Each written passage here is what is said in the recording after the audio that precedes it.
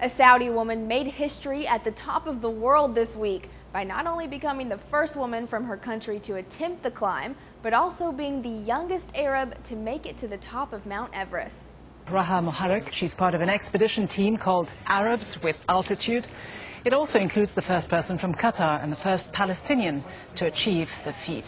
But still, 25-year-old Moharrak was the only woman. Her team members expressed their happiness for her accomplishment on Twitter. Writing, my friend Raha just became the first Saudi woman to summit Everest. Congrats. And the first ever Saudi woman to attempt Everest has reached the top. Bravo, Raha Moharrak. We salute you. Currently living in Dubai, Moharrak is a university graduate. However, she still comes from a conservative Muslim family in a country where women's rights are limited. And because of that, the BBC reports she had to overcome many obstacles to reach her goal.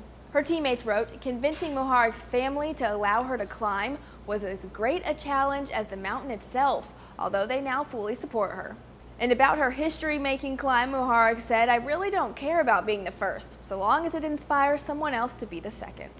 The Arabs with Altitude team is trying to raise $1 million to go towards education projects in Nepal. For Newsy, I'm Jasmine Bailey.